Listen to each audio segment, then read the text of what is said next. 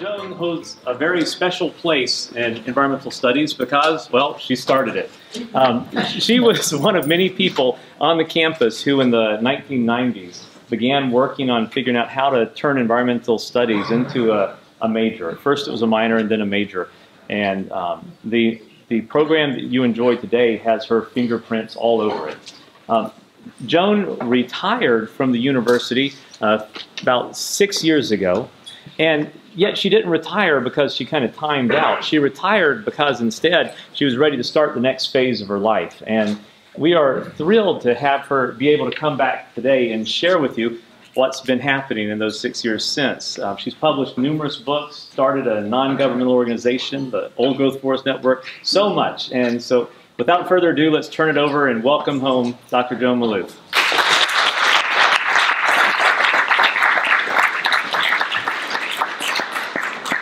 Thank you so much, Mike. And um, I'm going to use my teacher voice because there's no microphone, but if at some point I get quiet, you can like this. I'll speak up. So I think I must have been born loving plants. That's all I can figure out. You know, I have memories of being four years old and crawling across our sub suburban lawn looking for four-leaf clovers and just being amazed to watch uh, the bud of a, a flower open over the days. And so, as someone that loves plants, how I expressed that in my life when I went to university was by becoming a scientist. And that's how it took that form for me. And here I am working on my master's degree, measuring the photosynthesis rate of Hibiscus moschutus, a marsh, marsh plant, and I'm looking down at this uh, computer monitor, and I'm actually watching the carbon dioxide levels in the chamber drop. Makes it very real what plants do for our environment when you can see how those photosynthesizing plants take up carbon from the atmosphere. Some of you students might have had the opportunity to use a machine like this in your biology labs. I know when I taught biology here, we would use this equipment called LICOR. Then for my PhD, I was still working with plants. I was branching out plant-animal interactions now, uh, studying pollinators of a rare plant. And my type of research would be published in these journals that the average person usually doesn't get to read. We used to call them the uh, the dusty journals in the library, although hardly anybody ever goes to the library anymore to read them since they're available online now, which is great. It makes it a lot easier for folks like me to access them. But still, um, they don't get a lot of readership. So I am here today really to talk about forests because my love for plant brought me to what was happening, what is happening on our planet with the forests. So the top map here says original forest cover. We can think of that about 5,000 years ago, the dawn of civilization. The, the land was 46% covered in forest, and now it is down to 31%. Why? Because of one species, and you know which species that is and what we're doing. And that forest loss continues every year. And this is monitored by the United Nations. Every five years they come out with a report and tell us how much more forest cover we lost in the last five years. So here are the numbers. Um, from 1990 to 2015, we lost 314 million acres of forest. Right? We're losing it every year. It's just incredible. We know how important the forests are for clean air, for clean water, for animal habitat. And yet somehow, collectively as a species, we don't seem to be able to do anything to slow that down or stop it. So this, this visual is pretty funny. It's a 1994 forest cover. So when I first got interested in this topic of the forest and losing the forest, I went to our geography department, our newly burgeoning GIS lab, and I said, you know, could you give me a, um, you know, an image that shows the forest cover now in Wicomico County, the county where we sit, and um, this is the graphic, which today would be a whole lot different, a lot sharper, more realistic, but um, that gives you the idea. And then the top one, original forest cover, again, we'll say um, pre-settlement. So there were native peoples living here and they had some clearing for their crops and their villages, but it was about 95% forested. And that would have been original old forest. And then between, let's say, the 1600s and now, you can see how that forest cover has declined. And I put there not just how much forest, but what kind of forest, because when you look at something like that, at first you tend to think, oh, well, the, this is the forest that didn't get cut, that's still there remaining. No, it all got cut. But these are the green are the places where forests could grow back. So right now, most of that green is either pine plantation or wetlands that can't be built upon, and that's why they're still green. How much of that is native forest? Very little.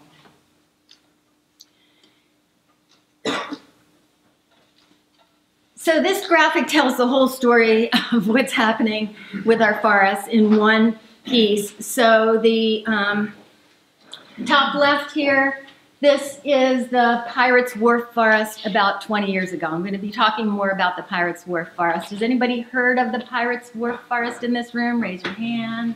Yes, awesome. Okay, we're going to talk about that one. Um, so you look at that, nothing really special about it at first. You know, this, this had been a farm field that was abandoned and then the native forest returned to it because that's what happens to this land here. If you just haven't poisoned it too terribly, you can step back and eventually it's going to become forest. So that land was abandoned farmland around the 1920s, so it's not quite 100 years old now, a little older than that picture. And what you will have there, the larger trees are the loblolly pines because they're the first to come back in. They like the full sun, they're pioneer species. But there's also beech and holly and sweet gum and black gum and white oak and willow oak, southern red oak, northern red oak, black oak, hickory. I know of sassafras. Did I say dogwood? You know, they're all our native tree species that came back by themselves. Nobody planted them, nobody watered them, nobody fertilized them. And this is county land owned by Wicomico County to be parkland. But what is their plan for that forest? It was to harvest it, which is pretty typical of most of the forests around here. So you see these, we'll say second or third growth forests that are these mixed species and you ride by them one week and there's a beautiful forest, and you ride by the next and it's down. So these are all those same species I mentioned down. This is not a pine forest that came down. This is a mixed native hardwood forest. This is our a state forest, Maryland State Forest. And this is management as usual. And most of these places are going to be converted to pine plantation. Although the state forests now, they're getting a little bit more progressive. They're letting some oak trees in there now too. And in some cases, to prevent all the things that want to come back there, the maples, oh, I miss them, right? the red maples and the sweet gums, um, herbicides will be sprayed to keep those things, suppress those things for the pines because the pines are worth the most money. And these pines then will be allowed to grow for maybe 40 years and they'll be harvested and then it'll be pine again. So you end up in this cycle of going from a mixed native forest that not only supports all those different tree species, but those tree species support many different bird species, animal species, insect species, fungal species. And reduces the biodiversity. E.O. Wilson, how many of you know who E.O. Wilson was? Heard of him? Yes, Salisbury. Good job, environmental studies. Our most well-known conservation biologist, now up, quite getting up there in years, I think close to 90 right now, but still speaking out. He says when we convert a native forest to pine plantation, we lose 95% of the biodiversity. So here I am, a ecologist, watching this happen, a scientist wondering, what can I do to make a difference? Can I publish another study in ecology that says that this is a bad idea? Is that really going to make a difference?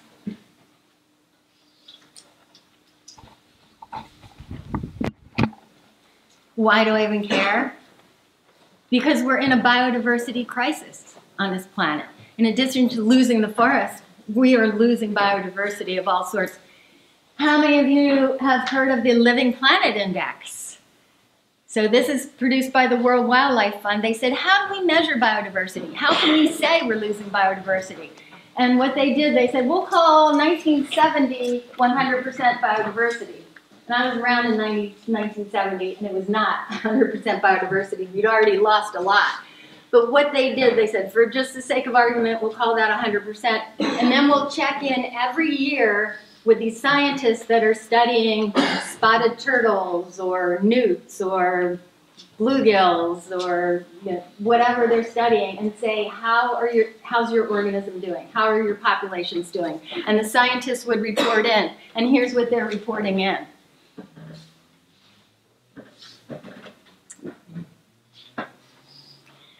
So instead of doing another scientific study, I thought I will try to take the studies that have already been done that shows how these organisms all depend on each other. That shows that when you cut the trees, you're not just losing trees, you're losing lots of different things. And put that into a form that the general populace could read, including the foresters. That was really one of my target audiences. I wanted them to understand what was happening.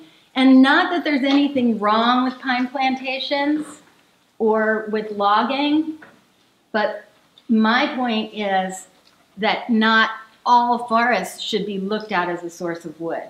Not all forests necessarily should be looked at um, as a place to grow fiber, that some of our forests should be left as refuges of biodiversity and beauty for humans too. So this is the story I was trying to get across in that book. And the first chapter was called Old Growth Air, and I know some of you have, have read this book, the students. And I sought out the closest old growth forest to me. So old growth forest is a forest that's never been logged or it hasn't been logged in so long that you, can't tell that the, or it hasn't been disturbed by humans in such a long time that the forest is going through its natural cycles of birth and death and species replacement. So an old growth forest in this region will have very large trees. So the old growth forest that I could find closest to us was Schoolhouse Woods in Wye Island. It's about 60 miles from here. But I didn't tell where the forest was in the book. I just told about breathing the air in the forest and how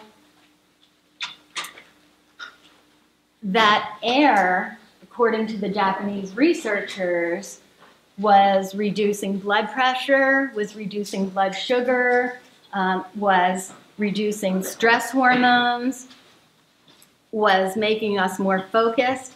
And who knows, we haven't proven this yet, but just sort of elating the mood. You know, you walk through this forest and you're breathing in these chemicals. They're going in your lungs, they're going in your bloodstream. They are affecting our bodies. And I was still teaching here when I wrote this, and people would come up to me and say, Oh, I, I like your book, but can you tell me where that forest is? I really want to go to that forest. And I heard this so often that I realized that we needed a book that could tell people how to get to these ancient forests. And that became the next book, Among the Ancients Adventures in the Eastern Old Growth Forest. So I went to one old growth forest in each of the states east of the Mississippi. Because everybody knows there's sequoias and redwoods out there, and we know how to get to them if we want to visit them. And how many of you have been to the see the old growth sequoias and redwoods? Yeah. But not that many people know where the old growth is in the east. And in fact, it wasn't until 1992 that we even had a survey done. And this wasn't a government survey or academic survey. This was just one woman picking up her phone, calling every state, talking to all the biologists, trying to piece together how much was left. That was Mary Byrd Davis. And she was able to come up with a figure for how much we have left. And it is less than 1%. So it's minuscule forests that have not been cut, but they exist these little pieces of them in every state. And that's what I wanted to let people know because if you can get into that forest and you can see that, you understand what a forest can be.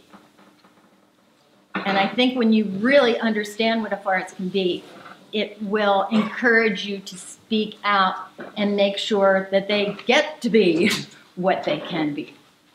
And if you don't understand that, why would you ever fight for that. So this, this is my feeling about the forest. You know, what was right here in this spot where, where we are right now? This was an old growth forest. This had giant oaks and beech and gums right here. So we need to understand our land. So these little pockets of old growth are places where you can understand it. This, these maps were made in 1925 by the first head of the U.S. Forest Service. Um, shows area virgin forests. That's what they used to be called, virgin forests. Some people now, besides old growth, use the term primary forests or original forests or ancient forests. There's kind of messy terminology here. I don't like to get into the splitting the hairs, but where are the old forests? And the white area, no forests because they're prairies or deserts. And then this is what the virgin forest looked like in 1850. We've been cutting pretty furiously then. And as technology improved, you know, as, as steam engines came in and trains, we just cut faster and faster and faster because we continued to lose old growth forests every decade. They continued to be cut through the 30s, 40s, 50s. So every time there was a war, too, that was another excuse to open up these last remaining forests, 60s, 70s, 80s. Even today, some ancient forests being cut. It's slowed down. Well, there's not that much left. But there weren't that many people saying, or that I could find out about, doesn't look in evidence saying, let's slow this down, this is a bad idea let's save some more. This is um, just a photo I threw in from Maryland's Appalachian region. So this is Western Maryland, 1910. This had to be a really depressing time to be alive if you're a tree lover because you were watching the original forest being logged out and logged very quickly. And this was not just somebody, you know, with a log cabin clearing in their yard for a farm. This was, these were industries, moving through, taking everything, moving out, not replanting, not caring. And the forest cover then, 1910, was lower than it is today. Now, some places have recovered. You saw like the Pirates Wharf Forest, that had been cleared of original forest, and now it's recovered at least forest cover. So so folks watch the uh, watch it go from old growth to very little growth, very low cover. So looking at these statistics and numbers and the landscape, I would think why didn't more people fight to save these pieces of forest? Can you imagine if there was a 200 acre piece of old growth in this county, in this town, something you could, you know, get to on your bicycle? Can you imagine how popular and wonderful that would be? Seems like it wouldn't be that hard, but it wasn't done. And I kept wanting to blame the folks in the past. Why didn't they do more? Why didn't they do more? Why didn't they do more? And then I realized that it's still happening. These second growth forests that could recover and be old are being cut right in front of me. And the old growth forests other places. So I started looking here, and we were talking about Julia Butterfly Hill earlier. That's what she said. She came here to the campus and she said, when you're blaming somebody like that, three fingers are pointing back at you. So it's like, what part do I play in this? What can I do now? What can I do to um, reverse this? And part of the solution is to is education of the next generation. Because unless the next generation understands what we're losing and understands what the forest can be, they're not going to fight for the forest. So we can preserve all the forests we want right now, and then when we're gone and they're in charge, the forests are just going to come down. So it has to be simultaneous. We have to save forests and a generation of people to protect the forests at the same time. But how are they going to care about the forest if they never get to see the old forest? If all they see are pine plantations, that's, that might not engender the same care, love, and respect. So I thought, what if we had one forest in each county that was never going to be logged again and that was open to the public? Then no child would be, or no person would be too far from that forest. And this would be something that we could measure. Instead of just saying, save the forest, save the forest, we could say, okay, one in each county. County, where's your forest that's never going to be cut again that people can see and build a relationship to? And that thought became the Old Growth Forest Network. And I went home and Googled counties in the US. I had no idea and this came up, I was like, oh no. that looks like a big project. It looks like something that I certainly can't do alone. I certainly didn't have the private resources to be able to do it. But we could start, right? How do we start? Um, well, for one, to get the resources we would need to become a non-independently wealthy. So somebody could have um, independently funded this, or the government could have funded it. That didn't happen. So instead, we formed a 501c3 organization, charitable organization, to called the Old Growth Forest Network. To com complete this mission, we need a board of directors, you need the bylaws, you need all that work. Even then, even with myself and a board, it's too much work for all of us. So the other thing we do is recruit volunteers in each county. And that volunteer's job is to look around in their county for a forest that could go in the old growth forest network. So sometimes, rarely, but sometimes there is an old growth forest in a county. And sometimes that forest is already protected. And then we can say, great, this is the forest that's going to go in the old growth forest network. Sometimes there's old forests and they're not protected. And we can say, this is a job for the old growth forest network. And we can work with that owner, whether it's state, city, county, nonprofit, land trust, summer camp, and try to get that forest protected. And some places there's no forests protected from logging and open to the public. And then we look around and say, what can we do here? And just some towns their last forests are being cut. And, and they come to us and say, help us. This forest, we want to preserve this forest, but it's owned by a developer, on and on. I'm going to share some of these stories. So this is the mission of the Old Growth Forest Network. Here are our, the one person each county, we call them our county coordinators. These are our volunteers in Maryland so far.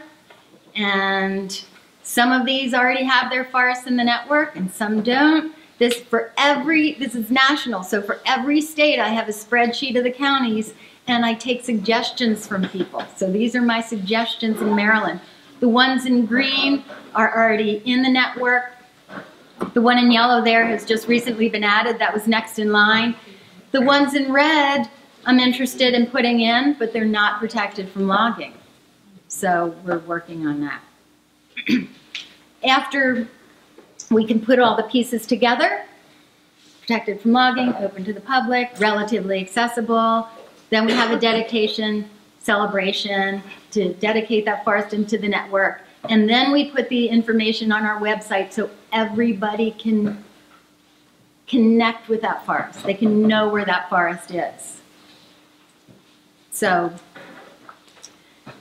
Maryland Forest already in the network, and they are on our website.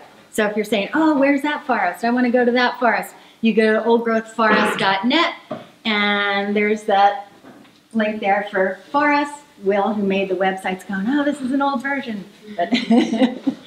and you click on the forest, and it lists the dedicated forests by state and then by county, and you click on that, and it'll give full directions for how to get there, all the other information you need. Right now, we have, so we've been at this for five years. We have 66 forests in the Old Growth Forest Network in 17 different states.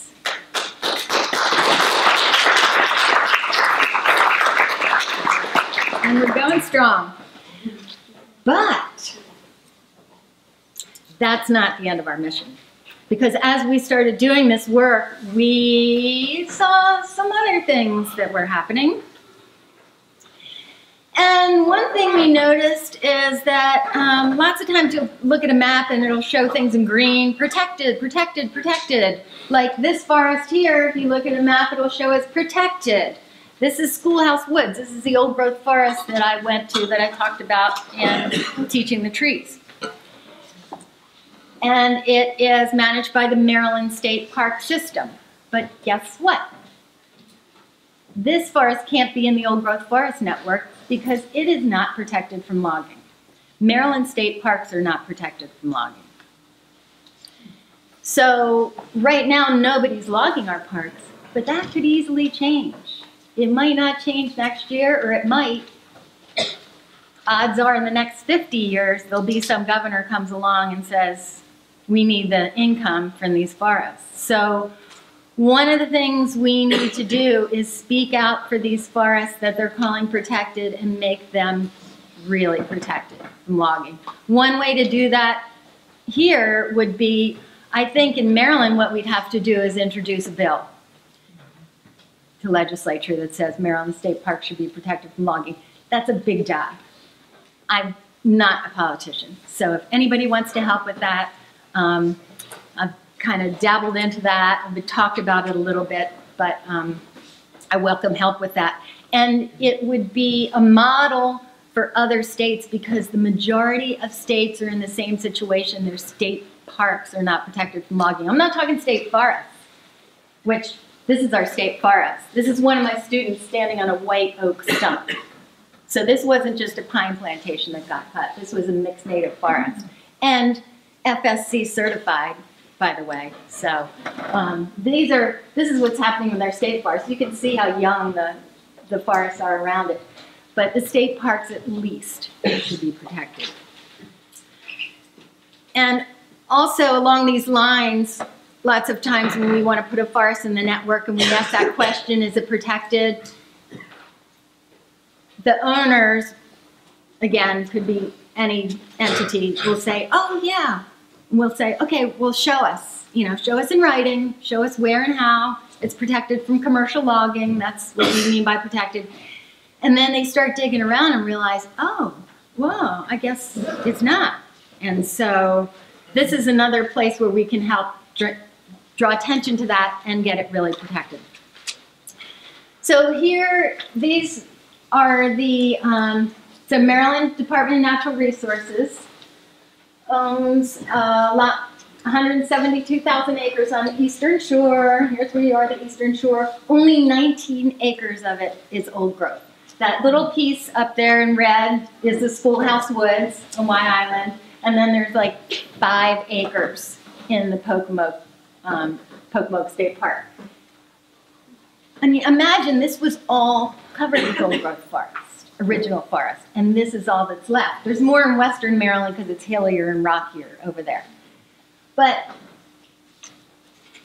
you know, I call the state parks people and say, shouldn't we protect, have a protection layer on Schoolhouse Woods? I mean, they won't, they, that's not even protected. That one little tiny piece left here.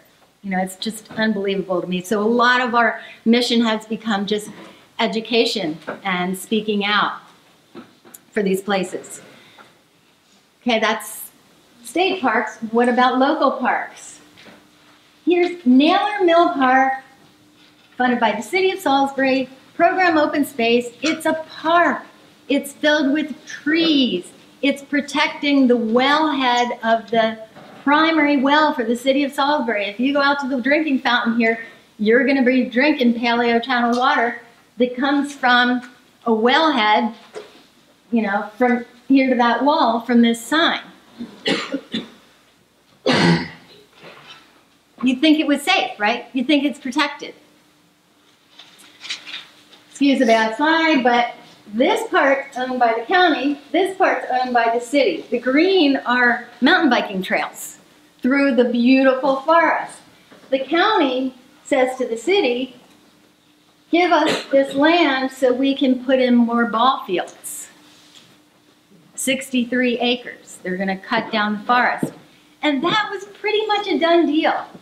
I was told by a city council member that that was going to happen. And we started bringing people out into the forest. I mean, we're talking Atlantic white cedars, found chestnut trees, American chestnut trees there. I mean, this is uh, natural forest has never been completely cleared.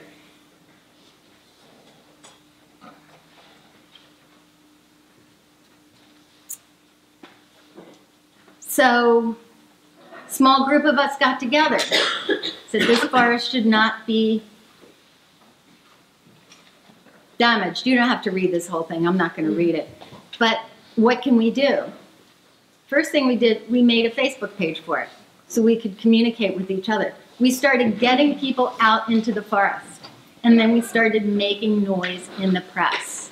Then we started going to the city council members and saying we want a public hearing. They put that off a long time. They kept pointing us to the count, us to the county, saying, "Talk to the county, talk to the county. They're the ones that want it." We're like, "No, we're talking to the city because you're the ones that own it. You're the ones that can say no." And finally, um, beautiful public hearings, and some students did come and attend that. And the what happened was, and this was a beautiful little political thing that happened. The city council planned this ahead that somebody would make the motion to give the forest to the county, but nobody was going to second it. So it didn't go through. And so that forest is still there today. But that could happen again, right? It could happen again in 10 years. Or it could be the next road is going to go through there. So in this case, the city's doing something really wonderful. And they are putting a conservation easement on their park. It's kind of unheard of that you should have to put a conservation easement on your park. And it's the type of conservation easement called Forever Wild easement that does not allow cutting. So this will help the city to protect that park for long term. And we're actually going to have a celebration about that this spring because this is a forest that we were able to save.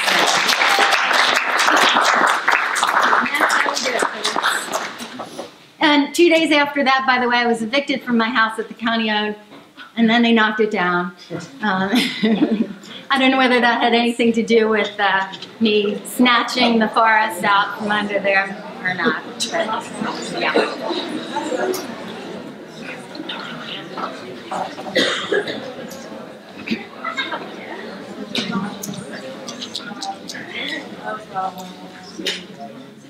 So I'm going to talk to you about three forests right in this area. Um, and some of these forests, students actually were given senior seminar projects. To, I went out to these forests with students, talked to them about the forest, talked to them about what was going on. Anybody here involved in the Glen Heights Forest? No? Okay. So here's Salisbury. Now again, what used to be here? Forest, yes, this was all forest. This was old growth forest. There are a lot of beavers living here, right? And swampy. We're talking 500 years ago, and then we chip, chip, chipped away at it. Um, city park up there. So here's this little piece of land here. This, and out on the table out there are these cards that if you want to be involved with the Old Growth Forest Network, please put your name and address, rip this part off, and um, you can keep the part with me hugging the tree. But if you have anything you want to communicate with me, just write it on the back of this thing with your name and address. So when I first, my very first talk ever about the Old Growth Forest Network was at Salisbury University. And it was six years ago. And this woman wrote on the back, um, please help me save a 14 acre piece of forest in Salisbury. So I went home, because if you just tell me something like that, I'm going to forget it. But if it's on here with your name and address, I'll follow up. So I called her up a day or two later and said, you know, I'm interested in this forest, and I'll come see it. And I was pretty sure it was going to be just, you know, your average, kind of like the Pirates Wharf looking forest, the 80-year-old forest here people look at as something very special. And that's, that's what I was expecting, old forest, right in the heart of town. This is a place that had never been clear cut, had never been converted to farmland. Was it completely untouched oh, old growth? We didn't have really long enough time to study it to determine that. So here's some of the trees in that forest. That's a holly tree up front. I think my hand's on sycamore back there. That's an Atlantic white cedar tree, which you know most of you don't know from your tree species, but they're more and more rare around here. Very tall forest-grown trees, hawks nesting in the trees, wetlands right there. And then the biodiversity. Anybody know what this is? Slime mold, probably. Physarum is my guess. Yeah, things we don't even understand. So there's a close-up of it on the top, and here's what the developer had planned to do to it. He didn't own this little piece here. He just owned this, Brad Gillis. And 92 townhomes are what was planned for that. So I went to the meetings and told the community nearby why this wasn't a good idea. And I talked, I got as many people interested in it as I could. I talked to the local land trust. Hmm. There's the director of the local land trust. I said, you've got to help me save this forest. Perfect pocket park.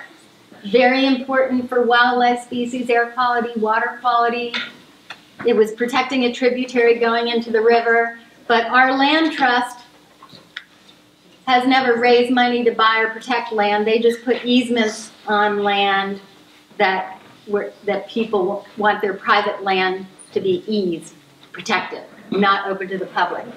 I talked to university professors, got them involved. I talked to DNR botanists. I talked to birders. I talked to other land trusts. We had meetings at the city government. I talked to the mayor. And I just really didn't get any help. And the students came out and did a, a film about how important this forest was. Here's my friend Dave Wilson. He's a birder in front of Atlantic white cedar. And this is what it looks like today. And, you know, we could raise, so what would it have taken to save this part? It was owned by a private developer. He would have sold it for 395000 which is not bad. I didn't have that much money, and I didn't have really the experience at that point raising um, the money. That's really no excuse. I could have done it if I dropped everything else and focused solely on that. That's the thing I live with now. But um, I didn't. I was involved in other things, Old Growth Forest Network, and I was living in California when I found out this happened. But the sad part of this is if there had been a community of people that cared enough about this, it wouldn't all, it wouldn't matter really where I was and what I was doing because it takes more than one person. We got to all get in there together. So I think there were laws broken here, forest conservation laws, but um, there it sits. Oh, here's another view of it.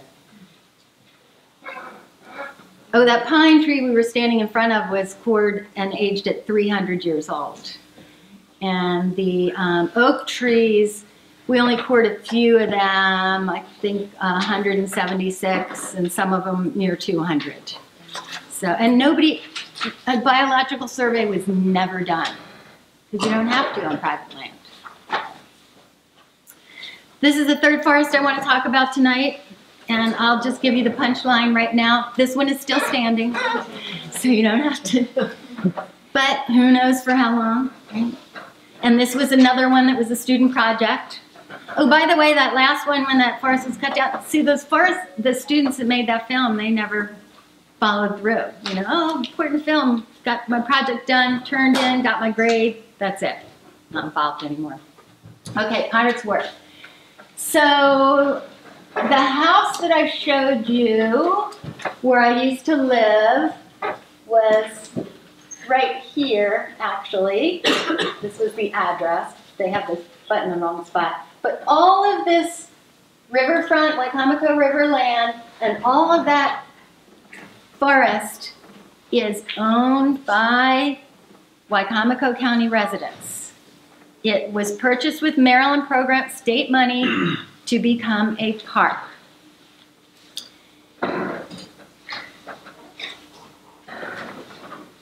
You already saw one picture of the forest, and I already told you about it.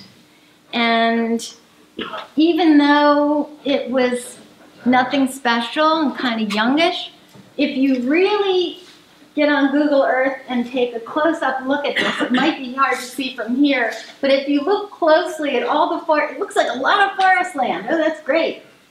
But looking closely, you'll see these stripes through it. That's thinned. When we hear that they want to thin the forest, we imagine like thinning your vegetables. It's nothing like that. It's massive machinery going down and making these like roads through the forest. So all of these forests here have these stripes through them. They are all young pine plantations. This is the oldest piece of forest there, even though it's not even that old. But, but that piece is parkland. These other forests aren't parkland. These other forests, some of them are owned by the state, uh, Chesapeake Forest land, state forest land, and some of them are privately owned but they're all managed heavily as pine plantations, and this piece is on parkland. And I think parkland means a forest. So if you read Teaching the Trees, you read about my project to try to protect this forest from being logged by turning it into a September 11th Memorial Forest. In 2002, we hung tags on all the trees with the names of the victims from September 11th, 2001. And it was close to 3,000 people that lost their lives that day, and all these trees were tagged. So this is the September 11th Memorial Forest, Public Forest, Parkland Forest, with some big old trees in there. But the county wants the original plan was to log the entire forest in sections, right? They weren't going to do it all at once. But the whole thing was going to be logged over time to raise money to develop the park. And then this forest would be one more pine plantation. So it's protected as forest land, but not protected. So, um, loblolly pine, beech, oak. Luckily, after making some noise, people care. They'd show up at the Natural Resource Committee. I'd write things in the paper. And we got a second opinion on that. It was difficult. I mean, this was going out for bid to be logged. And we were saved because none of the foresters, the loggers, none of the loggers bid on it. That's the only way that it got saved. And now we got a second opinion by a more enlightened forester who said maybe there's some areas in here that shouldn't be logged, like the vernal pools where the salamanders live. But still, it should be thinned. Parts of it should be thinned and what they would do for thinning would be they'd look at this and say, oh, that oak is too crowded. It's not going to grow well. We've got to take this pine out, which is worth a lot of money, by the way, and to give the oak a chance. This is a good thing. It's good for the forest. It's healthy for the forest. And that's a mindset from growing wood. We want these trees to grow fast and big. And I tend to disagree with that because I think I think these forests, these trees will just possibly do fine for another hundred years next to each other. And if one of them dies, so what, right? It's it's a park, and that adds to the biodiversity. In a native old forest, trees are dying all the time, and new trees are coming up. So to try to educate people about this became the next part of the mission, do forests have to be managed? Right? They think this is a good thing. Manage the forest for a healthy forest. These are all forester friends in the top picture, by the way. I have like many foresters. I do understand them. The guy on the left is the only one who's not a forester. And they thought that this state forest cut was just fine. They weren't complaining about that at all. Um, so you'll hear out there, forests must be managed to be healthy. So I decided I was going to challenge that. Really? And that became my third book that just came out um, not quite a year ago. We have some out there for sale. And for this book, I just looked into those dusty journals that aren't dusty anymore because they're electronic bits and bytes. And anytime there was a study where a scientist studied old unmanaged forests and compared them with the managed forests in whatever they were studying, whether it was turtles or salamanders or mosses or birds or insects or lichens, what did they find? And this is where my education to get my PhD in science really paid off because I was so used to reading those scientific papers. I enjoyed it and I could dig right into them and I could see where the interesting pieces are and what should be reported. And I was, and as a scientist, you have to be honest in what you do too, right? So I wasn't accepting only the papers that showed the sides that I wanted. I was reporting honestly on what I found in this review. And what I found was that the left alone forests accumulate more carbon. They take more carbon out of the atmosphere. This is, these are just different harvesting patterns. I'm not going to have time to go into all these studies in detail, but this will just kind of tease you about what I found in the book.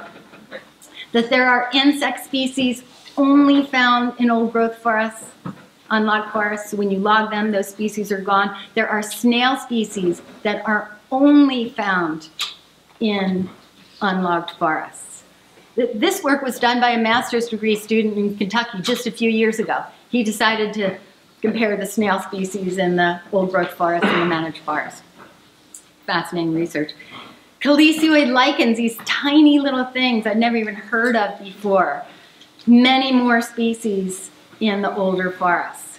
There are only a couple people in the country that research them, but um, they can tell the age of a forest by how many different species of these that they find. Salamander species, more species, more abundance in the old growth forest. So clear cut, this is redback salamanders, zero per acre, second growth 96 per acre, and old growth 488 per acre. So this is just one of the studies. Plant diversity is higher in the unmanaged forest. So we're often told when a forest gets cut, oh, it's okay, it'll recover, it'll recover, and that makes us feel better. It'll grow back, it'll recover. We have never seen full recovery of herbaceous plant diversity, ever. Like even after 300 years after a forest has been cut.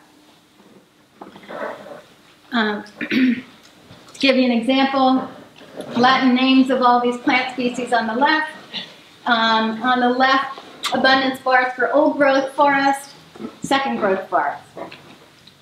And you can just, you don't even have to read this. You squint your eyes and you can see that there's more types of species and in greater abundance in the old growth forest. Which is another reason we have to save these places. How are we even going to do these studies? Researcher after researcher was complaining that, you know, that it's very difficult to even find places for these studies. Moss species need older forests, more mushroom species in the older native unlogged forests. So if you like mushrooms, you'll find more of them in the old forest. And we're just now learning about these fungal connections. Right, the underground connections. If you like TED Talks, check out Suzanne Simard's work. And the older a tree is, the more connections that it'll have to the other trees. So this, the dark green here are the larger trees, medium green, medium-sized trees. This tree was connected to 47 other trees by its my, fungal mycorrhizae, 11 different genets of the mycorrhizae. So we, you know, as humans can walk through a forest and go like, oh, well, you know, let's thin this a little, let's take that one out. Well, the other trees feel it when that happens because they're sharing resources. Bird species, some bird species need older forests. When you change the structure and turn them into a pine plantation, you're not going to have brown creeper in that forest anymore. And um, what about beauty? I actually did this research with Salisbury University students that showed that the older a forest was, the more beautiful it appeared to them. So you'll have to read the study if you're interested in the details on how that was done. Now, nothing wrong with planting trees. I plant trees, but it's very frustrating to me that it seems like all the grant money is for planting trees. You know, so look at our town. I just showed you that forest taken down, but yet then they're like, oh, let's do a project and plant trees in the town. I think first we need to protect the forest that we already have. And then maybe we can start planting trees. We're never going to be able to plant our way to an old growth forest like this Cook Forest in Pennsylvania. Okay, now I'm gonna, this is where my teacher, I stuck this in just for tonight. This isn't my usual talk, but I'm a professor emeritus at Salisbury University, so I have some lessons for you students. What are my lessons? Number one, I made this job that I love I'm getting a salary from doing this that I love and speaking for the trees. And we are hiring right now. We have a position open for a number two person to do this kind of work. They can work from anywhere in the country. They can work at home. They can work in their pajamas if they want to, most of the time, unless it's a dedication or a talk. So it's an awesome job, but I can tell you that I'm not hiring anybody in this room. And the reason I can tell you that is because I would already know you. You would already be active with me in helping me save the forest. You would have already sought me out. We'd already be in communication. So I'm just saying that as a way, as you think ahead into the kind of work you want to do, you might want to think about starting to do it now, even if it's not, you know, paid job sign on the line.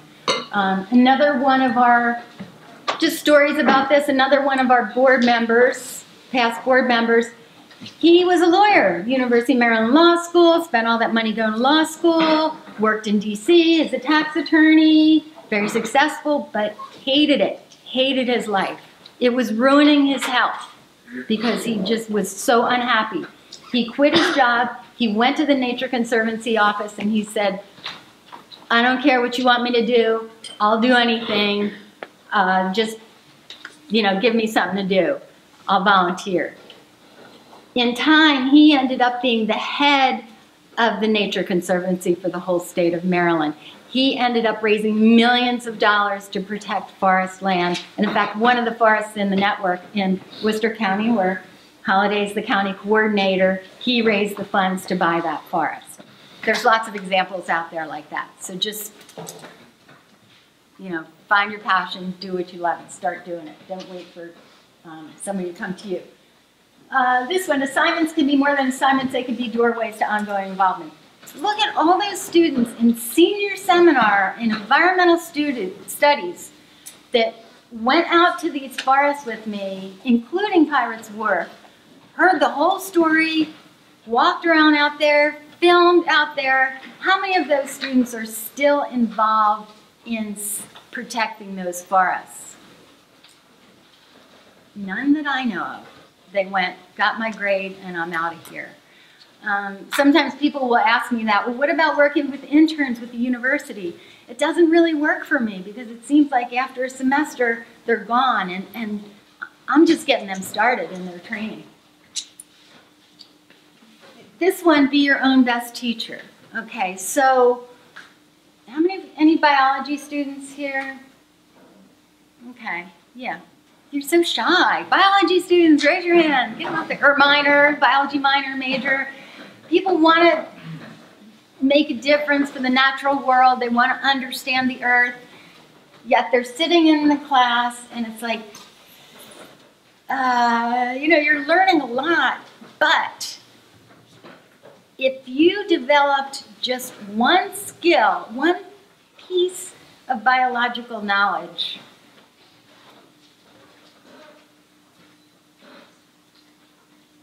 I'm thinking of, for instance, somebody who actually looked for the vernal pools in the forests around here.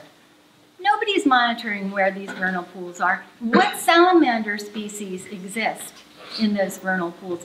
Nobody's doing that. Do I know anybody here that's really great at even identifying the different salamanders?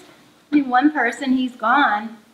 So if you had that knowledge wouldn't be that hard for you to learn. Buy a field guide, you know, and just start getting out there. Get out there at rainy nights. Get out there mating time for the salamanders.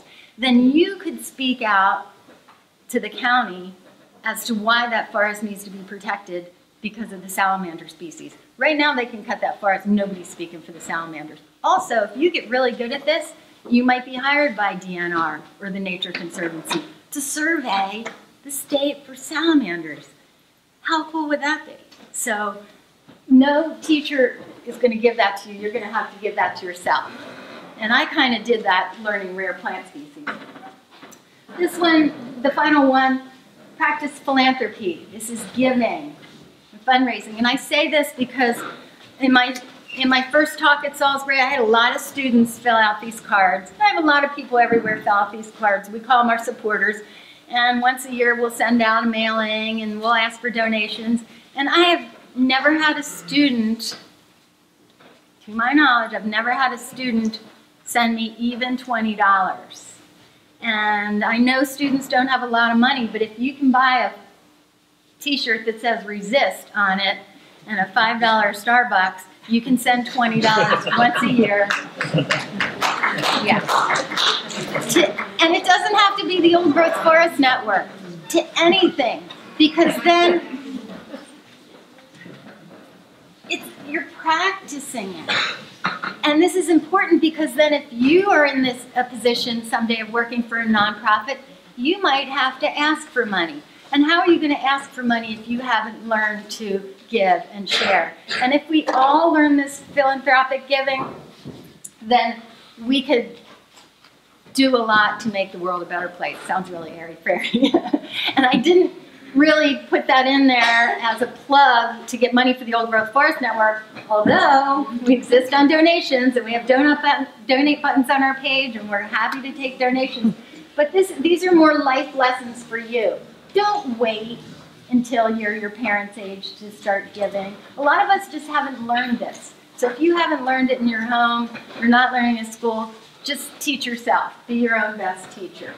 And so many wonderful organizations, whether it's earth-saving organizations or people-helping organizations, are looking for help for fundraising, with fundraising. So if that's a skill you can teach yourself, you can work at a cause that you really believe in. So my latest book is The Living Forest. It's out there. It's, it's just lyrical stories of the forest and when everything works right. It's the happy stories, how the forest does work with beautiful images. And this is, we don't always want to be beaten down with what's gone wrong. Sometimes we want to celebrate what's gone right. And I hope you'll be one of the people that care about the uh, forest and join the network because we got to do it together. All right.